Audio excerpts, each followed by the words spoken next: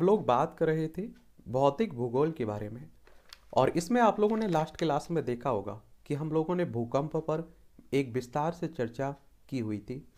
आज की इस क्लास में हमें पर्वत और पर्वत के निर्माण के बारे में बात करनी है, और इस क्लास को भी हम लोग विस्तार से ही देखेंगे। और ये सभी क्लासें आपकी यूपीएससी और स्टेट पीसीएस को ध्यान में रखते हुए कवर की जा रही हैं। तो अगर आप लोग किसी भी एग्ज़ाम की तैयारी करते हैं और उसमें अगर भौतिक भूगोल से आपकी परीक्षाओं में क्वेश्चंस आते हैं तो ऐसे सभी क्लासें आप लोगों के लिए भी महत्वपूर्ण हो सकती हैं। और इसके लिए एक सेपरेट प्लेलिस्ट सूची बना दी गई है। UPSC and state PCS prelims special classes के नाम से। तो जो यूपीएससी का आपका सिलेबस है ना, पूरा आपका कवर इस प्ले सूची में मिल जाएगा। यहाँ आप लोगों को इतिहास की क्लासें देखने को मिलेंगी, भूगोल की भी देखने को मिलेंगी, संविधान की भी देखने को मिलेंगी, अर्थव्यवस्था की भी देखने को मिलेंगी। और विज्ञान की भी आप लोगों को देखने को मिलेंगी। आप लोग तीन शब्द काफ़ी चर्चा में सुनते होंगे। एक आप देखते हैं कि पर्वत सुनते हैं, पहाड़ी सुनते हैं और पठार सुनते हैं। इन तीनों में अंतर क्या है? ये आप देखिए, पहाड़ की आकृति है। एक किसकी है? पर्वत की आकृति है। ये आप देखेंगे पहाड़ी हो गई और ये आप देखेंगे पठार आप लोगों को दिखाई दे रहा है। अगर इनकी परिभाषा आप लोग कहना चाहें कि पठार किसे कहता है, कहते हैं, कोई अगर आपसे पूछ ले पर्वत किसे कहते हैं? पहाड़ियाँ किसे कहते हैं? इनमें क्या अंतर है? तो आप देखें कि पर्वत या पहाड़, पृथ्वी की जो भू सतह होती है ना, इससे ऊँचे उठे हुए भाग को आप लोग क्या कहते हैं? क्या कहते हैं? पर्वत कहते हैं। ये काफ़ी ऊँचे होते हैं। कैसे होते हैं? काफ़ी ऊँचे होते हैं। लेकिन जो पहाड़ियाँ आप लोग देखते हैं ना, ये पर्वतों से बहुत छोटी होती हैं। और सामान्यतः आप लोग देखते होंगे, आपके आसपास भी आप लोगों को पहाड़ियाँ देखने को मिल जाती हैं। और पहाड़ियों की एक सामान्य परिभाषा भौगोलिक विशेषज्ञों के अनुसार माने तो आसपास की भूमि से ऊँचा कोई भी क्षेत्र पहाड़ी कहलाता है। और पहाड़ी की जलवायु आसपास के क्षेत्रों के अनुसार होती है, और आप देखते हैं इन पहाड़ियों पर कई बस्तियाँ भी, लोग भी रहते हैं, या जीव जंतु भी बहुत सारे पाए जाते हैं, ठीक है? अब बात आती है पठार की, कि पठार क्या होता है? तो आप देखेंगे इस तरह का पठार, जो आप देखते हैं कि भू सतह से ऊपर उठा हुआ है लेकिन आप देखिए, नुकीला हिस्सा नहीं है। इस तरह से आप देखिए पर्वत की तरह आपको दिखाई नहीं देगा। ये बिल्कुल आप लोगों को दिखाई देगा। ये ज़मीन से ऊपर होगा, पर्याप्त ऊँचा होगा, लेकिन जिसका ऊपरी भाग चौड़ा होगा, और सपाट इस तरह से आप देखेंगे, फैला हुआ होगा। इसी को आप लोग पठार कहते हैं। वहीं अगर आप लोग पर्वत की बात करें तो देखिए, उठा हुआ भाग दिखाई दे रहा है। यहाँ भी आप देखिए, पहाड़ियाँ भी छोटी छोटी उठाई दे रही हैं। लेकिन पहाड़ियाँ पर्वत से छोटी होती है। ये भी आप लोग याद रखिएगा। ये आकृतियाँ आप लोग दिखाई दे रहे होंगे। रॉकी पर्वत आप लोग पढ़ते हैं, एंडीज पर्वत के बारे में पढ़ते हैं, अपलेसियन पर्वत के बारे में, स्कैंडेनेवियाई पर्वत के बारे में, आल्पस, एटलस पर्वत के बारे में, यूराल पर्वत के बारे में, क्यून लुनसान हिमालय के बारे में पढ़ते हैं, ग्रेट डिवाइडिंग रेंज के बारे में आप लोग पढ़ते हैं। तो आपके आसपास जो पहाड़ छोटी छोटी पहाड़ियाँ होती हैं ना उसे पर्वत महा कर, मत कहा करिएगा। वो छोटी छोटी पहाड़ियाँ हैं, पर्वत अलग ही होते हैं। पर्वत का उदाहरण आप लोग हिमालय देख सकते हैं, या रॉकी देख सकते हैं, या एंडीज पर्वत देख सकते हैं। और आप देखिए मोड़दार पर्वत आप लोग पढ़ते हैं, ज्वालामुखी पर्वत पढ़ते हैं भ्रंश पर्वत पढ़ते हैं, अवशिष्ट पर्वत पढ़ते हैं। ये पर्वतों के प्रकार हो गए। चलिए अब हम लोग किताबी भाषा को देखते हैं कि किताबी भाषा क्या कहती है। तो भूतल पर अन्य पर्वतों की अपेक्षा वलित पर्वतों की संख्या अधिक देखने को मिलेगी। कहने का मतलब ये है कि जो हमारी पृथ्वी है, इस पे पर्वतों के प्रकार की बात हो रही है तो सबसे ज़्यादा बलित पर्वत आप लोगों को देखने को मिलेंगे। कुछ अन्य पर्वत भी बलित पर्वतों के रूप में देखने को मिलेंगे। घर्षित पर्वत, अवशिष्ट पर्वत और पहले ये बलित पर्वत थे। कलांतर में कटाव के परिणाम स्वरूप इनका रूप परिवर्तित हो गया और जिससे बलित पर्वतों का महत्व और अधिक बढ़ गया। और इसके अलावा ब्लॉक पर्वत अथवा अवरोधी पर्वत को पृथक रूप से निर्मित बताया जाता है। और वास्तव में ये पर्वत भी बलन क्रिया द्वारा निर्मित हुआ है। बलन यानी कि दबाव के कारण, ठीक है? और मोड़ों में बलन होने से मुड़े मोड़े पड़ने लगती हैं। और इस प्रकार परोक्ष रूप से ब्लॉक पर्वत भी बलन पर्वत की श्रेणी में आते हैं। और इन पर्वतों के अतिरिक्त अन्य कई पर्वत पाए जाते हैं, परंतु इनका विशेष महत्व नहीं होता है। और यही कारण है कि अधिकांश विद्वान केवल बलित पर्वतों की उत्पत्ति की व्याख्या की है। अनेक बल पर्वत ऐसे हैं जिनका रूप अभी विकृत नहीं हुआ है और इनकी इनको युवा बलित पर्वत की संज्ञा प्रदान की जाती है। एक बार आप लोग स्क्रीन पर देख लीजिए। देखिए, ये आप देख हैं भ्रंश पर्वत हो गया, मोरदार पर्वत, ज्वालामुखी पर्वत। अब मान लीजिए कि दो प्लेट हैं, एक तरह से आप देखिए, एक प्लेट है, एक प्लेट है। इन दोनों में टकराव हो रहा है, दबाव हो रहा है। ऊपर आप देखते हैं कि हिस्सा उठ जाता है। तो उसी की बात होती है कि वही पर्वत हो गया, बलित पर्वत हो गया। भूतल पर तीप ढाल वाला उच्च भाग जो कम विस्तृत शिखर, तल और एवं दूर से दृश्यमान है, उसे पर्वत कहा जाता है। ये आप लोग किताबी परिभाषा भी लिख सकते हैं। भूतल का तीप ढाल वाला उच्च भाग जो कम विस्तृत शिखर, तल एवं दूर से दृश्यमान है, उसे क्या कहते हैं? पर्वत कहते हैं। शैलेश्वरी ने स्पष्ट किया है कि पर्वत स्थल के ऐसे पुंज हैं जो अपनी अधिक ऊंचाई से निकट क्षेत्रों की अपेक्षा अधिक स्पष्ट होते हैं और उनके शीर्ष तल का विस्तार अधिक नहीं होता है। और पर्वतों के मुख्य रूप देखें तो सामान्य दृष्टि से सभी पर्वत समान दिखाई पड़ते हैं, परंतु ऐसा होता है कि यदि, होता नहीं है। यदि सूक्ष्म निरीक्षण किया जाए तो इनके स्वरूप में भिन्नता स्पष्ट होने लगती है। पर्वत कटक, पर्वत श्रेणी पर्वत श्रृंखला, पर्वत तंत्र, पर्वत वर्ग, पर्वत शिखर, पर्वत समूह आदि रूपों में पर्वत दिखाई पड़ते हैं। और जिनमें पर्याप्त भेद होता है। एक बात और आप लोगों को यहाँ बता देता हूँ। अगर आप लोगों के पास टाइम है और खासकर सिविल सर्विस की तैयारी कर रहे हैं, स्टेट पीसीएस की तैयारी कर रहे हैं, तब तो आप, मुझे लगता है कि आप लोगों को एन बुक्स पढ़ लेनी चाहिए। क्या? एन बुक्स पढ़ लेनी चाहिए। इसका आप लोगों को यकीनन बहुत फ़ायदा मिलेगा। ठीक है? तो ये आप लोग याद रखिएगा। और बलित पर्वत की बात करें, आप देखिए बार बार ये चर्चा हो रही है। तो वे पर्वत होते हैं जिनका निर्माण बलन नामक भूगर्भीय प्रक्रिया के तहत होता है। प्लेट विवर्तनी के सिद्धांत के बाद इनके निर्माण के बारे में यह माना जाता है कि भूसन्नतियों में जमा अवसादों की दो प्लेटों के आपस में करीब आने के कारण दबकर सिकोड़ने और सिलवटों के ऊपर उठने के रूप में उठने से हुआ है और टर्सरी युग में बनी बलित पर्वत आज सबसे महत्वपूर्ण पर्वत श्रृंखलाओं में से है। जैसे आप देखते हैं एल्पस देखते हैं हिमालय देखते हैं इन्हीं की बात हो रही है। अब आप देखिए दो प्लेटें हैं। इसमें बीच में कुछ आप देख रहे हैं कि ब, ब, बना हुआ है अवसाद के रूप में। अब आप देखिए दोनों एक दूसरे के पास आएँगे करीब आएँगे बलन पड़ेगा बीच के हिस्से में ये ऊपर उठ जाएगा। तो इसी को तो बलित पर्वत कह देते हैं। ऊँची ऊँची एवं संकीर्ण पहाड़ियों के क्रम को पर्वत कटक की संज्ञा प्रदान की जाती है और इन पर दबाव अथवा अपर्दन की क्रिया का अधिक अधिक प्रभाव दिखाई पड़ता है। और इसी प्रकार पहाड़ों एवं छोटी छोटी पहाड़ियों के क्रम को पर्वत श्रेणी कहा जाता है। यह रूप पर्वत कटक से विस्तृत होता है और जिसमें अनेक पर्वत कटक शिखर और घाटियाँ सम्मिलित होती हैं। लंबे एवं सक्रिय पर्वतों का पर्वतों का सब जब समानांतर रूप से क्रम विस्तृत हो, होता है तब इसे पर्वत श्रृंखला की संज्ञा प्रदान की जाती है और इनमें अनेक पर्वत श्रेणियाँ सम्मिलित होती हैं।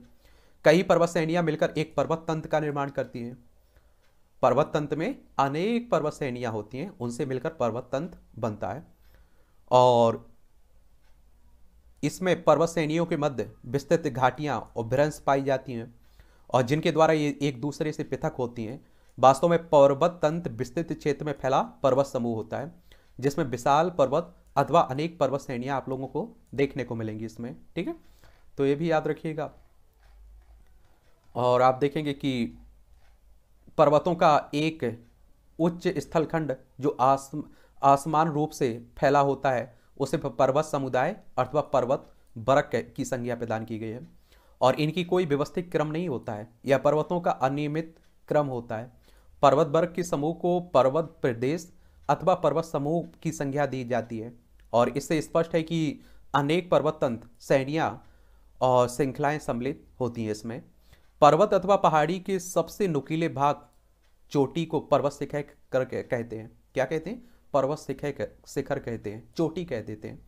एक तरह से आप देखिए यहाँ, ये आप देखिए इस हिस्से को क्या कह देंगे? चोटी कह दे देंगे। पर्वत का शिखर शिखर कह देंगे। ठीक है? और यह अपने ही पर्वत भाग में सब, सभी ऊँचा होता है और इसका आकार सभी पहाड़ियों में, पहाड़ों में समान नहीं होता है। किसी में अत्यंत नुकीला, सुई अथवा सींग की भांति होता है। और किसी में गुम्मत की भांति होता है, किसी में पैराम, पैरामिड की भांति आप लोगों को दिखाई देगी। चोटी, शिखर की बात हो रही है। अलग अलग पर्वतों में अलग अलग आप लोगों को दिखाई देगा, ठीक है? तो ये भी याद रखिएगा। और पर्वतों की अगर हम लोग वर्गीकरण की बात करें तो पर्वतों की उत्पत्ति अथवा निर्माण स्थिति ऊंचाई, उत्पत्ति काल अथवा पर्वत निर्माणकारी घटनाओं आदि में अंतर होता है और फलस्वरूप पर्वतों में विषमता उत्पन्न होती है और इसी के आधार पर इनका वर्गीकरण किया जाता है। और निम्नांकित वर्गीकरण प्रस्तुत किए गए हैं नीचे आपको। कहने का सीधा सा मतलब है ये है कि पर्वतों की उत्पत्ति, निर्माण, स्थिति, ऊंचाई, उत्पत्ति काल अथवा पर्वत निर्माणकारी घटनाएँ, ये सब अलग अलग होती हैं। इनमें अंतर पाया जाता है और इन्हीं विषमताओं के कारण इनका वर्गीकरण किया गया है। अब आप देखेंगे कि पहला कह रहा है ऊंचाई के आधार पर तो इसमें आप देखेंगे निम्न पर्वत हो गया, फिर आप देखेंगे रुक्ष अथवा कम ऊँचे पर्वत हो गए, फिर आप देखेंगे घर्षित पर्वत हो गए, ऊँचे पर्वत हो गए। ठीक है? ऊंचाई के आधार पर आप देखेंगे, इनका बंटवारा हो गया है। फिर आप देखेंगे, स्थिति के आधार पर अगर आप लोग देखें तो इसमें आप देखेंगे, महाद्वीपीय पर्वत हो गया, महासागरीय पर्वत हो गया तो स्थिति के आकार पर हो गया ये। फिर आप देखेंगे, निर्माण प्रक्रिया के आधार पर अगर आप लोग पर्वतों को देखें तो मौलिक अथवा विवर्तनिक पर्वत, अवशिष्ट अथवा घर्षित पर्वत, मोड़दार अथवा बलित पर्वत, अवरोधी अथवा ब्लॉक पर्वत गुमदाकार पर्वत, ये निर्माण प्रक्रिया के आधार पर आप देखेंगे पर्वतों का वर्गीकरण किया गया है। तो सबसे पहले हम लोग निचले अथवा निम्न पर्वत देखते हैं। और निचले पर्वत विश्व के प्राचीन पर्वत हैं, जिनका अनच्छादन अपर्दन, अनवरत हुआ है। अब आप देखिए कि कहते हैं ना कि पुराने लोग हैं तो वो झुक जाते हैं। उनका एक तरह से आप कह सकते हैं कि अपर्दन होने लगा है, यानी कि बुढ़ापा आने लगा है। तो वो निचले पर्वत हो जाते हैं, बहुत पुराने हैं। अब आप देखिए, आज जो नए हैं, वो भी एक समय में पुराने होंगे तो उनका भी अपर्दन धीरे धीरे होता रहेगा। फलस्वरूप उनकी चोटियाँ कम हो गई हैं। लगभग 500 से हज़ार मीटर की ऊंचाई वाले सभी पर्वत इस कोटि में रखे जाते हैं। तो एक कौन हो गए? निचले अथवा निम्न पर्वत हो गए। फिर आप देखेंगे, रुक्ष पर्वत, और इसमें आप देखेंगे, रुक्ष पर्वत भी प्राचीन पर्वत हैं। इनका अपर्दन निचले पर्वत की अपेक्षा कम हुआ है।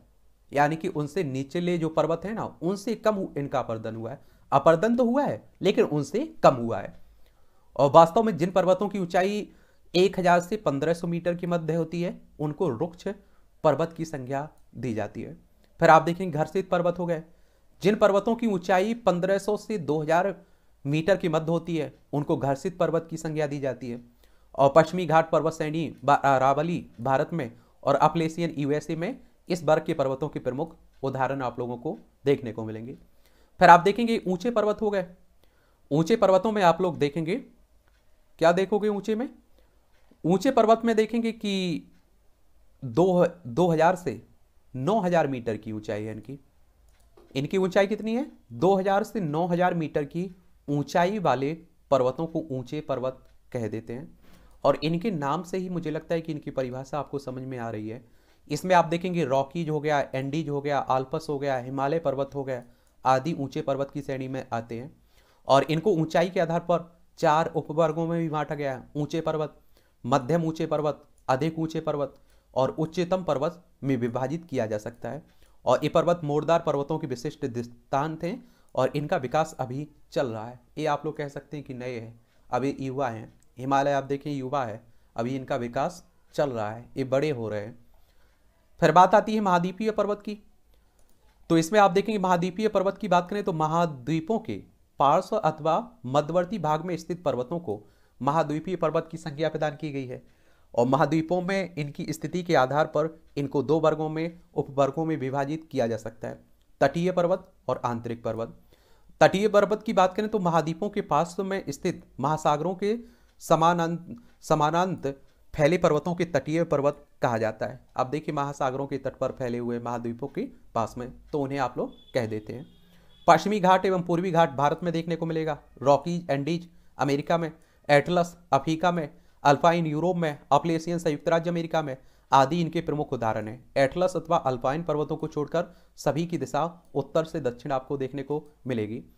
ये आप देखेंगे तटीय की बात हो रही है तो आप लोग देखेंगे यहाँ। देखिए रॉकी पर्वत, एंडीज पर्वत ये आप देखिए, इन्हीं की बात कर रहे हैं, ठीक है? तो इनको याद रखिएगा आप लोग। और पूर्वी अगर भारत की बात करें तो आप देखेंगे, खासकर इस क्षेत्र की आप लोग बात कर रहे हैं, ठीक है? ये आप लोग याद रखिएगा। और फिर आते हैं अंतर महाद्वीपीय पर्वत।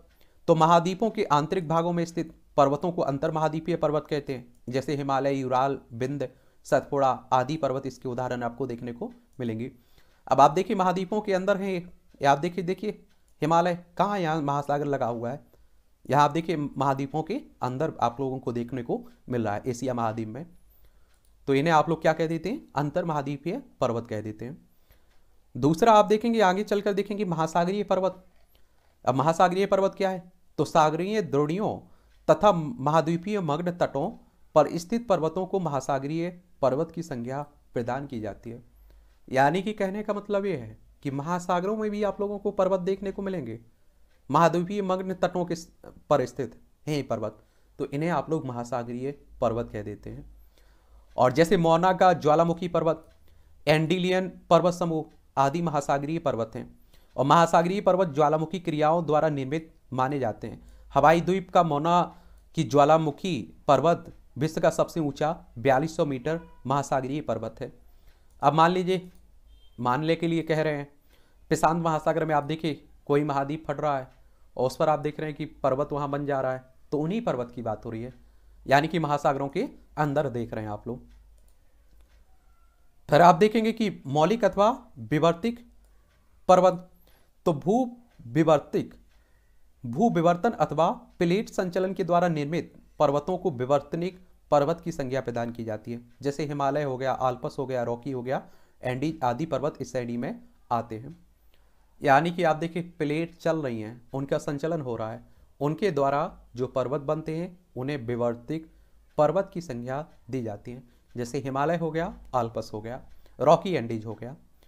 अवशिष्ट अथवा घर्षित पर्वत, अपर्दन के अवशेषों के रूप में बचे हुए पर्वतों को घर्षित पर्वत की संज्ञा दी जाती है। अपलेसियन पर्वत इसका मुख्य उदाहरण है। और यह पर्वत अतीत में कई बार समतल कई बार समतल हो चुका है। कौन सा? अपलेसियन पर्वत। ठीक है? ये अवशिष्ट अथवा घर्षित पर्वत का उदाहरण है। तो इसके बारे में भी आप लोग याद रखिएगा इसमें। फिर आप देखेंगे, क्या देखेंगे इसमें? बलित अथवा मोरदार पर्वत। इनके बारे में भी देख लीजिए। तो महाद्वीपीय अथवा एक महाद्वीपीय और एक महासागरीय प्लेट के संचलन अथवा टकराने से उत्पन्न क्षेत्रीय शक्तियों से भूसा नीतियों में निक्षिप्त मलबा में मोड़े पड़ने से बलित अथवा मोड़दार पर्वतों की उत्पत्ति होती है। कहने का ये मतलब है कि दो महाद्वीपीय अथवा एक महाद्वीपीय और एक महासागरीय प्लेट है। उनका संचलन हो रहा है, एक दूसरे की तरफ़ बढ़ रही है और उनके बीच आप देखेंगे जो मलबा होगा, मान लीजिए एक एक प्लेट है, एक प्लेट है, ये दोनों एक दूसरे की ओर जा रही हैं और आप देखिए बीच में मलबा देखने को मिलेगा। और उसमें एक तरह से दबाव पड़ेगा ना, उसके कारण आप देखिए ऊपर हिस्सा उठेगा, उसी पर्वत को बलित पर्वत या मोरदार पर्वत कह देते हैं। और कम घनत्व वाली प्लेट के नीचे अधिक घनत्व वाली प्लेट के छेपण होने, बेनी ऑफ़ मंडल में पहुँचने और पिघलने से निर्मित मलबा का ऊर्धगामी प्रभाव होता है और साथ ही अन्योन स्रोतों से जल रिस मेंटिल में पहुँचता है तो गैसों में परिवर्तित हो जाता है। इस प्रकार का मैग्मा तथा गैसों की ऊर्धगामी दबाव से मोड़ों का ऊर्ध्वाधर विकास होता है और फलस्वरूप विकसित मोड़दार पर्वतों का निर्माण देखने को मिलता है। हिमालय आल्पस, एंडीज रॉकी आदि पर्वत मोड़दार पर्वत के उदाहरण है। मोड़दार पर्वतीय क्षेत्रों में अन्याय अन्यान्य अभिनतियों तथा अपनतियों विद्यमान होती हैं। इसके अलावा मध्य पिंड भी पाए जाते हैं और निर्माण प्रक्रिया अथवा बलन स्वभाव में अंतर होने के कारण मोड़दार पर्वतों को दो, भी दो वर्गों में वर्गीकृत किया गया है। और आप देखिए कि आप लोग एक कागज़ को लीजिए। आप देखिए दोनों तरफ़ से आप लोग दबाते हैं तो उसमें मोड़ पड़ जाती है ना, उसी तरह से आप लोग देख सकते हैं। साधारण बलित पर्वत, एक जटिल बलत पर बलित पर्वत होते हैं, वलित पर्वत। और साधारण बलित पर्वत की अगर हम लोग बात करें तो प्लेट के संचलन अथवा टकराव से भूसन्नतियों में सामान्य मोड़े पड़ पड़ती हैं तथा अपनतियाँ और अभिनतियाँ व्यवस्थित होती हैं। तब इस प्रकार से निर्मित मोड़दार पर्वत को साधारण बलित, वलित पर्वत अथवा मोड़दार पर्वत कहा जाता है।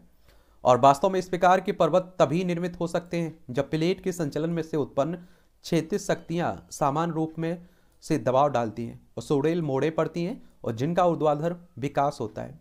वहीं अगर हम लोग जटिल वलित पर्वत की बात करें तो आप देखेंगे कि जब प्लेट संचलन से उत्पन्न क्षैतिज शक्तियाँ अत्यधिक तीव्र होती हैं तब भूसन्नतियों में निक्षिप्त मलबा में अनियमित मोड़ें पड़ती हैं और मोड़ों में तोड़े उत्पन्न हो, हो जाती हैं।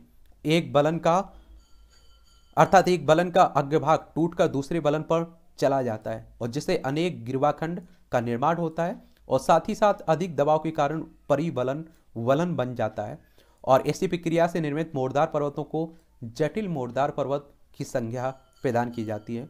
और निर्माण अवधि के आधार पर इसे निम्नांकित दो प्रकारों में विभाजित किया जाता है। इसमें आप देखेंगे युवा बलित पर्वत और दूसरा आप देखेंगे परिपक्व बलित पर्वत में बांट देते हैं। ठीक है? फिर आप देखेंगे एक आपका अवरोधी अथवा ब्लॉक पर्वत होता है। कभी कभी भू पीढ़ी पर तनाव और खिंचाव की शक्तियाँ कार्य करने लगती हैं और इनकी शक्तियों की वृद्धि के साथ तनाव बढ़, बढ़ता जाता है और पपड़ी कमज़ोर पड़ जाती है और जिससे भ्रंश अथवा दरारों का निर्माण होता है और फलस्वरूप भूतल का कुछ भाग ऊपर उठ जाता है अथवा कुछ भाग नीचे धस जाता है। ऊँचे उठे हुए भाग को अवरोधी अथवा ब्लॉक पर्वत की संख्या प्रदान की जाती है और इसका निर्माण दो समानांतर भ्रंशों के मध्य के भाग के ऊपर उठने से होता है और इनको भ्रंशोत पर्वत अथवा भ्रंश सर्जित पर्वत भी आप लोग कहते हैं। इसे आप लोग स्क्रीन पर देखिए। देखिए, ये आप लोगों को दिखाई दे रहा है। आप देखिए कि मान लीजिए, ये आप लोगों को दिखाई दे रहा है। ये आप लोगों को दिखाई दे रहा है। बीच का भाग दब जाए। या आप देखें कि एक तरह से या आप लोग ऐसा भी हो सकता है कि आप देखेंगे कि आसपास का भाग नीचे दब जाए, ऊपर का भाग उठ जाए ऊपर तो उसी की बात हो रही है, ठीक है? तो ये भी आप लोग याद रखिएगा इसमें।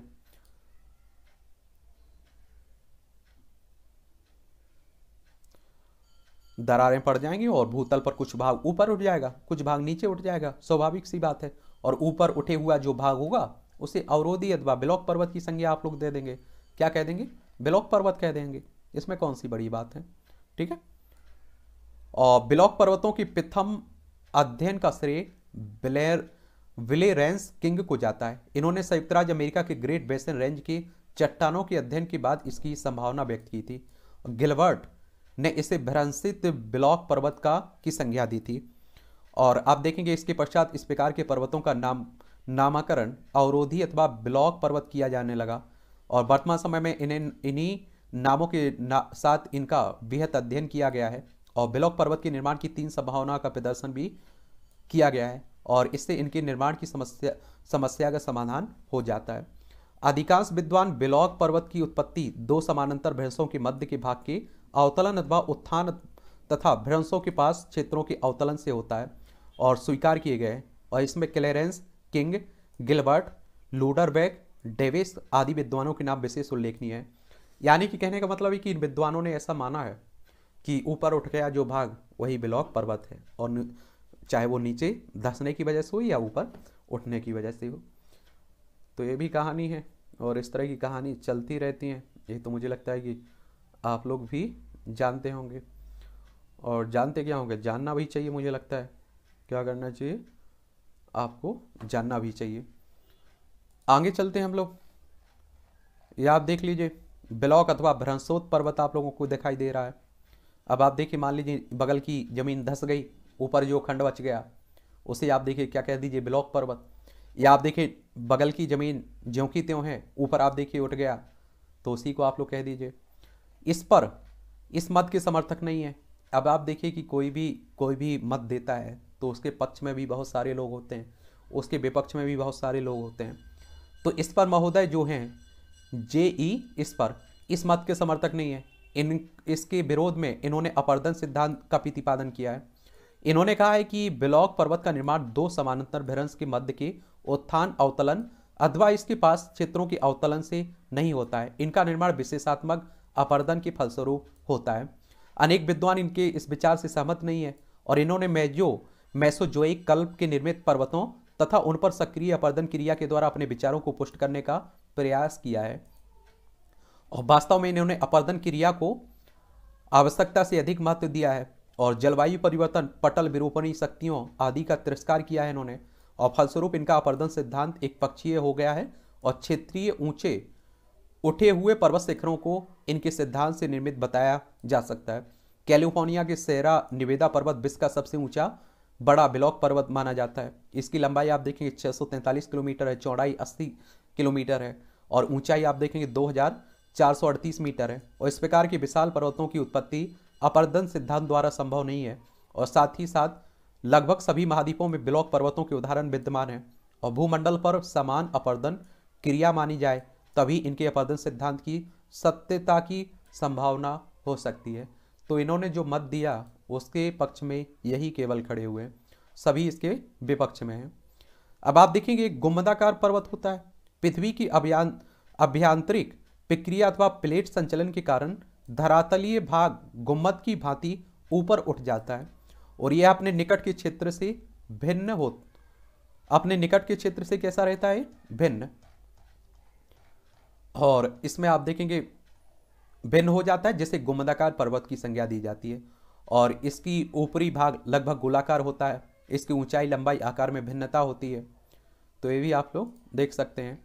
गुमदाकार पर्वतों का मौलिक रूप अधिक दिनों तक स्थिर नहीं रहता है। उत्थान के पश्चात से अपर्दन क्रिया सक्रिय हो जाती है। यानी कि इनका उत्थान हुआ, उसी समय से आप देखेंगे, उसके बाद अपर्दन क्रिया होने लगती है। और अपर्दन क्रिया क्या कहती है कि आप देखते हैं कि उन्हें हटाती रहती है, उन्हें घिसती रहती है, उनका एक तरह से आप कहीं विनाश करती रहती है। इसके अलावा अन्य विवर्तिक क्रियाएँ भी इस पर इस पर प्रभाव डालती हैं। कभी कभी मुख्य गुम्मत के साथ अनेक छोटे छोटे गुम्मत भी पाए जाते हैं और इसको मिश्रित गुम्मत की संज्ञा प्रदान की जाती है। और निर्माण प्रक्रिया अथवा चट्टानों की प्रकृति का प्रभाव भी गुम्मदाकार पर्वतों पर पड़ता है और फलस्वरूप इनमें भिन्नता उत्पन्न हो जाती है और इसे निम्नांकित वर्गों में वर्गीकृत किया जाता है। जैसे साधारण गुम्मदाकार पर्वत, ज्वालामुखी गुम्मद अथवा लावा गुंबद, साल्ट गुंबद के नाम से आप लोग विभाजित कर देते हैं। ऊपर उपयुक्त पर्वतों के अलावा संगीत पर्वत, जटिल पर्वत, अवशिष्ट पर्वत, कैलिडोनियन पर्वत हसीनियन पर्वत, अल्पाइन पर्वत आदि का भी उल्लेख किया जाता है। क्या किया जाता है? इनका भी उल्लेख किया जाता है। तो ये भी आप लोग याद रखिएगा। पर्वत 60 मीटर से अधिक ऊँचे पर्वतों का वर्गीकरण देख लीजिए। अब आप देखिए, ऊंचाई के आधार पर इनका वर्गीकरण किया गया है। ऊंचाई के अनुसार निम्न पर्वत, रुक्ष पर्वत, असम पर्वत, ऊँचे पर्वत। और स्थिति के अनुसार आपको बताया, स्थल स्थित पर्वत, तटीय अथवा आंतरिक पर्वत, निर्माणकारी घटनाओं के अनुसार। पूर्व कैम्बियन पर्वत, इसमें आप देखेंगे, लोरेसियन पर्वत, एल गोमर, गोमन पर्वत, कैलानियन पर्वत। यह आप देखेंगे घटनाओं के अनुसार, इसमें कैलोडियन पर्वत, हर्सिनियन पर्वत हर्सिनियन पर्वत में आप देखेंगे आर्मो रिकन पर्वत, लोरिसियन पर्वत अल्फाइन पर्वत आपको दिखाने को मिलेगा। निर्माण प्रक्रिया के अनुसार आप देखें तो मौलिक पर्वत, इसमें आप देखेंगे बलित पर्वत हो गया, अवरोधी या ब्लॉक पर्वत हो गया गुम्मदाकार पर्वत हो गया, संगीत पर्वत हो गया, और आप देखेंगे निर्माण प्रक्रिया के अनुसार दूसरा अवशिष्ट पर्वत आप लोगों को देखने को मिलेगा। तो ये भी इनकी कहानी है। तो ये भी आप लोग याद रखिएगा इनके बारे में। ये बलित पर्वतों की उत्पत्ति भूसन्निधियों से हुई है। ये क्या है? ये आप देखेंगे कि दीर्घ काल के सर्वेक्षणों के अनुसार यह विचार व्यक्त किया जाता है कि ऊँचे भाग अतीत में एक लंबे समय तक समुद्र के रूप में थे और इन चट्टानों में, छिछली समुद्रों में पाए जाने वाले सभी तथ्य विद्यमान थे। और बलित पर्वतों की उत्पत्ति भूसा नीतियों से हुई है और इस प्रकार का बिचावर हाल और डाना के पूर्व के विद्वानों ने भी प्रस्तुत किया है और इन विद्वानों ने किसी भी, किसी सिद्धांत अथवा परिकल्पना को आधार नहीं माना है और फलस्वरूप इनके भूसानति सिद्धांत को मान्यता प्राप्त नहीं हो पाई है। सीधी सी बात आप लोग याद रखिएगा, कई भौतिक विज्ञानी हैं जो अपने अपने हिसाब से आप देखेंगे, कहते रहेंगे कि भाई पर्वतों का बलित पर्वतों का निर्माण इस तरह से हुआ है, फिर दूसरा आएगा, वो कहेगा, नहीं नहीं, इस तरह से नहीं हुआ है, अब इस तरह से हुआ है। आप लोग देखते हैं कि आप घर परिवार में होते हैं तो कोई भी बात होती है तो आप कहते हैं, नहीं नहीं, इस तरह से हुआ होगा। फिर आप देखिए, दूसरा आपके विरोध में खड़ा हो जाता है। कुछ लोग आपके सहमर्थन में आ जाते हैं तो उन्हीं सब की बात हो रही है। सामान्यतः भूसानति सिद्धांत इस तथ्य को लक्षित करता है कि बलित पर्वतों की चट्टाने पर्वतों के रूप में छिछली समुद्रों में दीर्घ काल तक बनती रही हैं और भौगोलिक क्रियाओं में दीर्घ काल लाखों वर्ष का होता है और फलस्वरूप इनका प्रयोग नहीं किया जाता है, केवल विचारों और तर्कों द्वारा अध्ययन किया जाता है। किसी भी सिद्धांत को समझने के लिए स्वयं सिद्धा, स्वयं सिद्धों अथवा पूर्व सिद्धों को समझना आवश्यक होता है और इस सिद्धांत में भूसान्नति को स्वयं सिद्ध माना जाता है। फलस्वरूप इसकी व्याख्या करना आवश्यक है। क्या है? आवश्यक है। तो ये भी याद रखिएगा। भू अभिनतियाँ, ये भी आप लोग देखिए। क्या? भू अभिनीति, अभिनतियाँ। भू अभिनतियाँ लंबे सक्रिय अथवा उतले जलीय गर्थ हैं।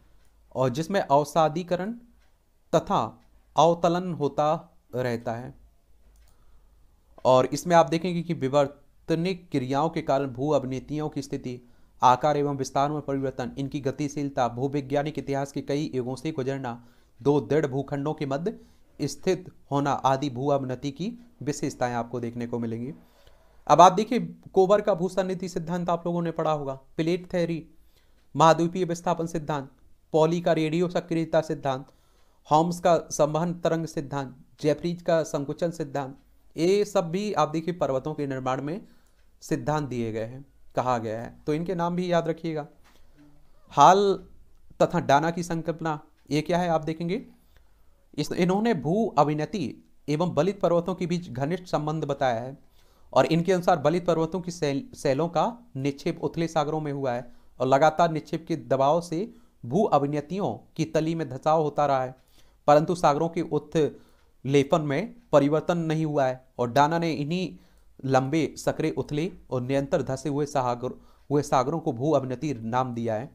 हॉक के अनुसार रॉकी यूराल टेथिस टैथिल और परिप्रशांत भू अभिनतियाँ के किनारों पर सागरों का अतिक्रमण व निर्वर्तन होने से अवसादों का निक्षेप माना जाता है। किनारों पर मोटे और मध्य में सूक्ष्म पदार्थ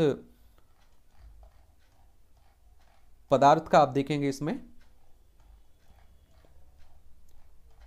पदार्थ का निक्षेप माना है और भू अभिनति के किनारों की ओर से दबाव पड़ने पर तल छठ में बलन पड़ते हैं और इन्हीं से बलन पर्वतों का निर्माण होता है और इनके अनुसार भू अभिनति में तल छठों का जमाव, तली के धसाव पार्श्व के दबाव और बलन क्रिया का चक्र पूरा होना आवश्यक नहीं है।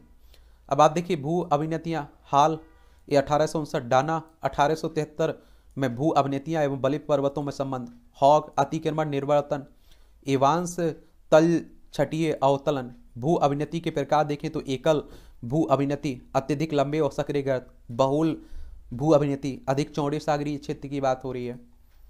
और मध्य भू अभिनति, अधिक लंबे, सक्रिय व गतिशील सागर, भू अभिनति एवं पर्वत निर्माण का संबंध तो भू अभिनति अवस्था, तलछट जमाव, पर्वत निर्माण की अवस्था, जमाव से तली का धसना, विकास की अवस्था, पर्वतों की दीर्घकालिक क्रम में रचना और मध्यस्थ भू अभिनाति। यह भू अभिनतियों को पर्वतों का पल, पलना कहा जाता है और भू अभिनीतियों के कुल विकास को तीन अवस्थाओं में अवस्थाओं, व्यवस्था किया गया है और भू अभिनति अवस्था। इस अवस्था में भू अभिनति का निर्माण होता है। और नदियाँ उच्च भागों का अपर्दित तलछट इसमें एकत्रित करने लगती हैं और तलछट के भार से भू अभिनति की तली धसने लगती है, निक्षेपण चलता रहता है और तलछट की हज़ारों मीटर गहरी परतें भू अभिनति में जमा हो जाती हैं। पर्वत निर्माण पर्वत निर्माण की अवस्था, इसमें तलछट के जमाव की क्रिया तली के तली के धसने की अपेक्षा तीव्र गति से हो, होने के कारण भू अभिनीति उथली हो जाती है और अधिक जमाव के कारण भू संतुलन अव्यवस्थित हो जाता है और भू संचलन से भू अभिनति के पार्श्वों पर क्षेत्रीय दबाव पड़ने के कारण तलछट पर बलन पड़ने लगते हैं और दबाव की तीव्र शक्ति बलन बलित पर्वतों के निर्माण में सहायक होती है। भू अभिनति सक्रिय हो जाती है और अत्यधिक बलन एवं संपीड़न के कारण जटिल परिवहन अथवा गीवा खंड की रचना होती है। कभी कभी ज्वालामुखी क्रियाएँ भी होती हैं। विकास की अवस्था में देखें तो इस अवस्था में पर्वतों की रचना के दीर्घकालीन क्रम के कारण अथवा अपर्दन से पर्वतों में घाटियाँ ब्रंश क्षेपण, ढाल, विसर्प आदि विकसित होते हैं।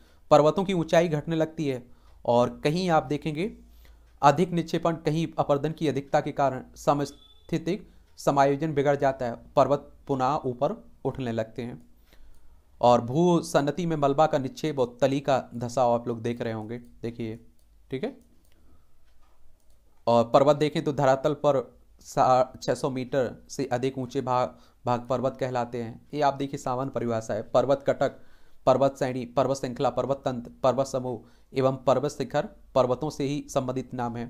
पर्वतों का वर्गीकरण ऊंचाई के अनुसार, स्थिति के अनुसार, उत्पत्ति निर्माणकारी घटनाओं के अनुसार, उत्पत्ति की प्रक्रिया के अनुसार किया जा सकता है। ऊंचाई के अनुसार निम्न पर्वत, रोक्ष पर्वत, असम पर्वत और आप देखेंगे ऊँचे पर्वत आप लोगों को देखने को मिलेंगे। ये आप देखिए पॉइंट याद रख लीजिए। हो सकता है प्रेलिम्स में डायरेक्ट ही पूछ लें। स्थिति के अनुसार आप देखेंगे स्थल स्थित पर्वत, तटीय अथवा तटीय पर्वत और आंतरिक पर्वत आपको दिखाने को मिलेंगे। निर्माणकारी घटनाओं के अनुसार पूर्व कैम्बियन पर्वत, कैलोडियन पर्वत, हसियन पर्वत और अल्पाइन पर्वत देखने को मिलेंगे। और निर्माण प्रक्रिया के अनुसार मौलिक या विवर्तिक, विवर्तनिक और अवशिष्ट पर्वत देखने को मिलेंगे। मौलिक पर्वत में बलित पर्वत हो गया, अवरोधी या ब्लॉक पर्वत घुमंदाकार पर्वत संगीत पर्वत देखने को मिलेंगे। भू अभिनीतियाँ लंबे, सक्रिय और उथले जलीय गर्त और जिनमें अवसादीकरण एवं अवतलन आपको देखने को मिलेगा। और भू अभिनेतियों की विशेषताएँ निम्नलिखित हैं। विवर्तनिक की क्रियाओं के कारण भू अभिनतियों की स्थिति, आकार, विस्तार में परिवर्तन होना, उनकी गतिशीलता और तीसरा है, भूवैज्ञानिक इतिहास के युगों से युगमों से गुजरना। चौथा है, दो हट हट भूखंडों के मध्य स्थित होना। भू अभिनेति की संकल्पना हाल, हाग और डाना की सहयोग का फल है। सुकर्ड ने भू अभिनेतियों को एकल भू अभिनेति बहुल भू अभिनेति मध्यस्थ भू अभिनेति बताया और भू अभिनेति के विकास की कुल तीन अवस्थाएँ होती हैं। भू अभिनेति अवस्था और पर्वत निर्माण अवस्था, विकास की अवस्था। तो ये पर्वत और पर्वत निर्माण की एक कहानी हो गई, एक ओवरव्यू हो गया। और आप देखें और विस्तार से आप लोग मुख्य परीक्षा में पहुँचेंगे। और ये सिद्धांत भी आप लोगों को बताया, जो उन्हें के बारे में भी याद रखिएगा, पूछ लेता है कई बार। कोबर का भूषण नीति सिद्धांत, प्लेट थ्योरी महाद्वीपीय विस्थापन सिद्धांत पोली का रेडियो सक्रिय सिद्धांत, होम्स का संबंध से, तरंग सिद्धांत, जेफरीज का संकुचन सिद्धांत, ये सभी आपने देखा है, ठीक है? चलिए तो आपका कोई सवाल हो, सुझाव हो तो आप लोग ज़रूर दीजिएगा। अगली क्लास में हम लोग मैदान के बारे में पढ़ेंगे। भौतिक भूगोल में आप लोग मैदान पढ़ते हैं ना? मैदान किसे कहते हैं? उसी पर हम लोग विस्तार से चर्चा एक करेंगे, ठीक है?